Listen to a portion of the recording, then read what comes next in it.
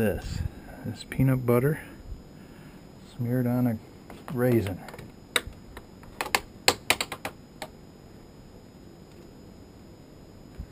And stuck in the trigger of the trap. Stuck in, as I said. Okay, now a couple more raisins to pique his interest. Let me show you how dog is going to work. First of all, this is coming through the lid of the trap, through the dog, and into the trigger pan. There we go. Now I think it's a little bit too far off the mark.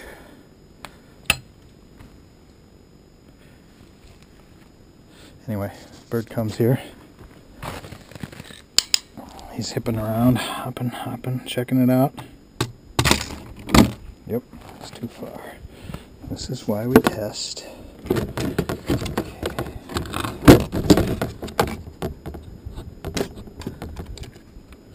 Through here into the pan. But if we want it to trigger and fall down, we've got to close it more.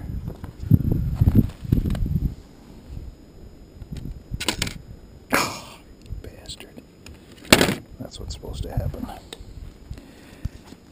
Okay.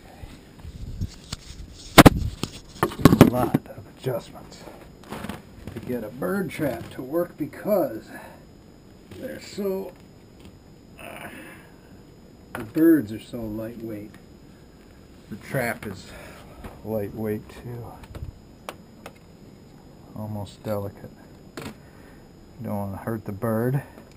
And let me reiterate so there's not a firestorm in the comments section from animal lovers. Not going to hurt the birds. Going to trap the birds. This looks like a mouse trap. It's not. It's the remains of a mouse trap that I tore apart so that this business part cannot get any birds. I took wire cutters and I cut that off. I'm only using the dog and the pan as a trigger to set the trap off. I'm going to leave it like this. I'm confident that if it's set off, it should go down. It should work, and if not, we'll just try again.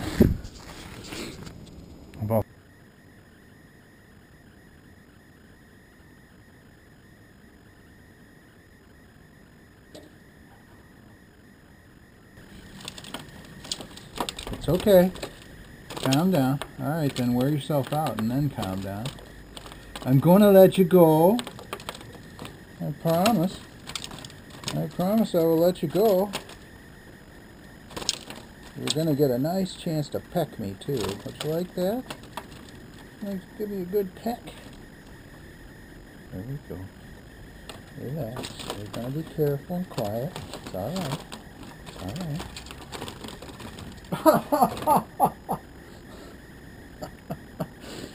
Damn.